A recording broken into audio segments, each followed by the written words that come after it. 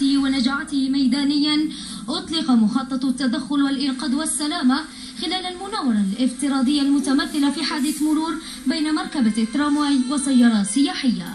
من المهام تاعها هي تكون أولى المتدخلين من أجل آه، تتويق المك... آه، المكان اوليا في انتظار آه، في انتظار قدوم جميع المصالح.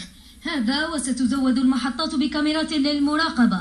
ويبقى المواطن الشريك الأساسي في إنجاح مهام أفراد هذه النواة الأمنية.